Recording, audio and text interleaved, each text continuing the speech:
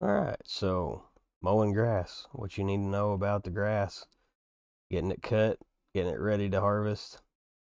Like I said, there's different ways. There's different machines.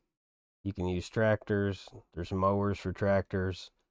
We'll go have a look at all the different options there is.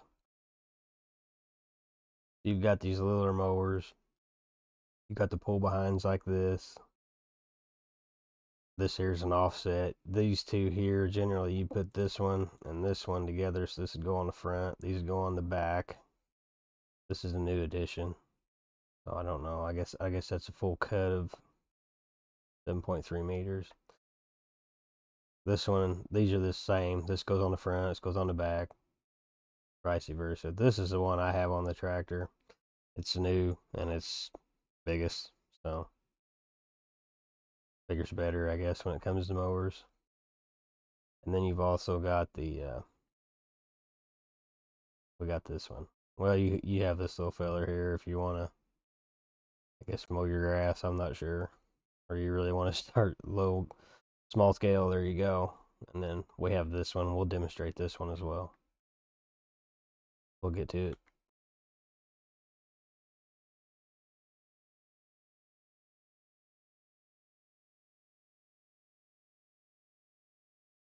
We'll go ahead and make a pass with this thing here. Get the grass cut, and then we'll, we'll run that one over there a little bit. You can see how all this stuff works out. And just turn your front one on, turn your back one on.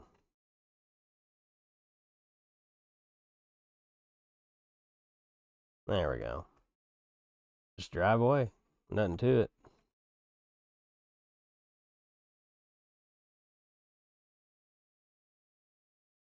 And then this is after you've cut or like I said, you, you've figured out what you're wanting to do. I mean, are you just gonna are you gonna windrow it and pick it up in a wagon? Are you gonna try to bale it? That's something you'll just have to decide what you want to do.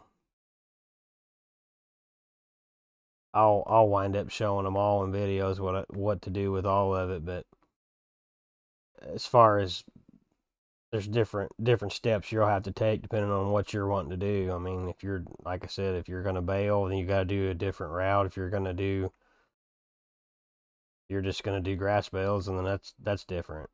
Or if you're just gonna pick it up and use it for feed.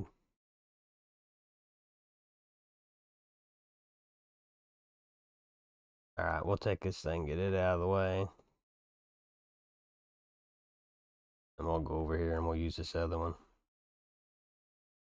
test it out, demonstrate it for you. This one here, uh, it does have a hitch, and if I remember right, I, I don't know. I haven't tried it in this one. But used to in 19, you could you could pull the tedder behind it too, so that was actually pretty nice. That way you could do it all at once.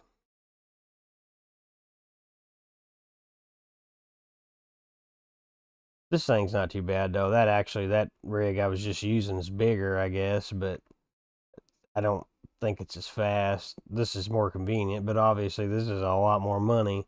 That thing over there, if you're getting started, depending on how you play. I mean, if you use a money mod, it really doesn't matter. But if you try to play without using a money mod, it's pretty tough to get this thing. It's expensive.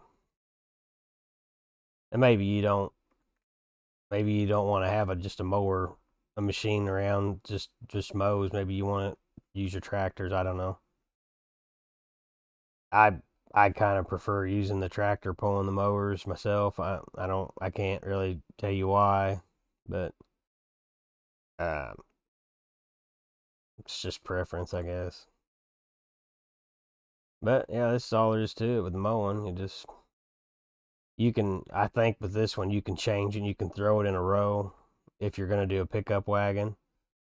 So you can I believe row it with this but we're just going to go ahead and lay it all out like this. And that way uh, we can demonstrate in other videos how to do the hay and the tedding and picking it up and running a windrower and all that stuff. So somebody that's curious or not sure how it works, they'll have a good understanding of how it all works. And that's going to do it for mowing hay. Thank you.